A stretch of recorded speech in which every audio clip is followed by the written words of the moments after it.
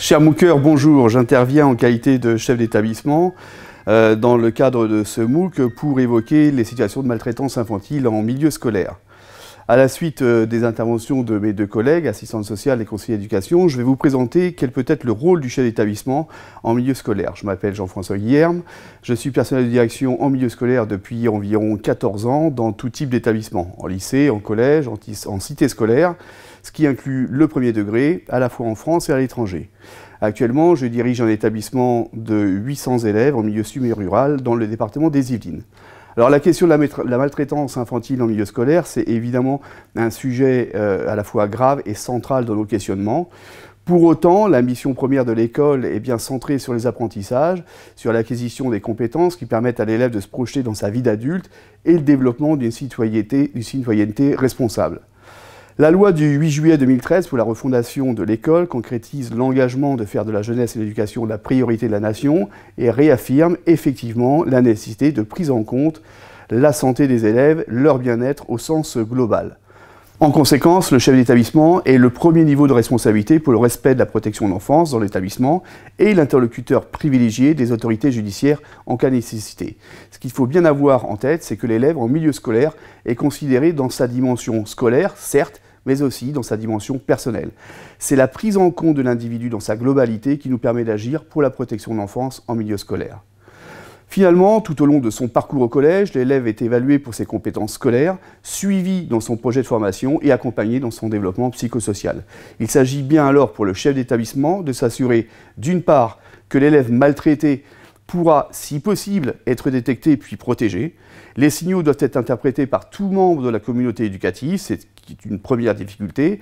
Et ensuite, la situation prise en charge par les personnes qualifiées et spécialisées au sein de l'établissement scolaire.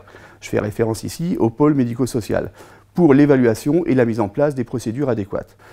Alors, les signaux d'alerte en cas de maltraitance infantile sont nombreux, et ne correspondent pas toujours à des situations de maltraitance pris isolément. C'est effectivement le cumul, la répétition, la concomitance de ces signaux qui sonnent l'alerte véritable. Les changements radicaux de comportement, les rumeurs et également les confidences sont à prendre en considération. Donc la deuxième difficulté réside bien dans ce décollage. Comment considérer les signaux, qu'ils soient forts, qu'ils soient faibles, et comment les interpréter? Nous sommes face à des lanceurs d'alerte et ces signaux, qui sont parfois relayés par l'entourage de l'élève, par ses amis, par ses relations, par des adultes au sein de l'établissement ou bien en dehors. Il convient alors de les professionnaliser dans le cadre d'une première écoute. C'est le rôle du conseiller principal d'éducation, puis après des équipes spécialisées qui vont prendre le relais pour récupérer l'information et la traiter. C'est ce que j'appelle les récupérateurs d'alerte. En établissement scolaire, les rôles et les missions de chacun sont bien définis, mais il existe parfois des risques de confusion, de mauvaise interprétation, de compréhension, et on peut assister à des sorties de protocole par des personnes qui se laissent déborder par leur sensibilité ou leur excès de zèle. Le chef d'établissement a la responsabilité de bien définir les champs d'intervention et de régulation en interne par la mise en place d'un protocole d'intervention le conseiller principal d'éducation est souvent la personne vers laquelle convergent les informations. C'est le détenteur d'informations sur l'élève, en prise avec toutes les dimensions, scolaires, éducatives, familiales, personnelles. Lorsque le repérage est consolidé, sans toutefois attendre, l'information est alors partagée, selon les établissements, via le chef d'établissement, une cellule de suivi pluridisciplinaire ou alors, ou alors avec les équipes spécialisées en direct. Les services spécialisés, en particulier l'assistance sociale, évaluent, traitent, signalent dans le cadre de la protection de l'enfance en lien avec les services départementaux.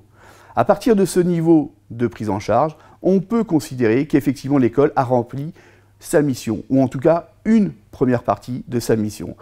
Mais elle se poursuivra à travers le suivi de l'élève, ce qu'a décrit la conseillère principale d'éducation, et les moyens mobilisés en interne pour l'accompagner dans son parcours scolaire. Par exemple, dans mon collège, nous avons mis en place des réunions de suivi de concertation hebdomadaire d'équipes pluridisciplinaires. Le conseiller d'éducation, la conseillère d'orientation psychologue, l'assistante euh, sociale, le médecin de santé scolaire, l'infirmière et la direction participent à une réunion pour mettre en commun les informations. Parfois, on peut inviter des personnes qualifiées ou des professeurs principaux pour présenter des, des cas. Ce travail de remontée d'informations, de situation d'alerte, de régulation des équipes, de partage des données, euh, qui débouchent sur des décisions à prendre, sur le suivi à réaliser, les mesures à prendre, sont nécessaires au travail fin de détection des situations de maltraitance. Ce qui n'empêche pas les réunions d'opportunité au besoin avec les différentes équipes disponibles au cas par cas. Le chef d'établissement travaille également sur un autre axe important mis en, exergue dans la présentation de la conseillère d'éducation, il s'agit du climat scolaire. En effet, le chef d'établissement met en place une politique adaptée pour pouvoir agir sur le climat scolaire et ainsi, à travers le travail facilité en équipe, fixer des ambitions, définir des priorités, mais aussi veiller aux bonnes relations entre les professionnels, entre les adultes et les élèves, entre les élèves eux-mêmes, entre les adultes et les parents d'élèves. Il agit pour que s'installe un cadre bienveillant et rassurant, favorisant ainsi l'épanouissement de la personne et des professionnels de l'établissement. Il resitue par le respect de la loi le cadre qui doit permettre à l'élève de se sentir protégé et peut-être aussi d'aller se placer sous la protection des adultes qui l'accompagnent au quotidien si nécessaire. En espérant avoir été suffisamment clair, je vous souhaite, cher mon cœur, une bonne continuation dans votre parcours de formation. À bientôt.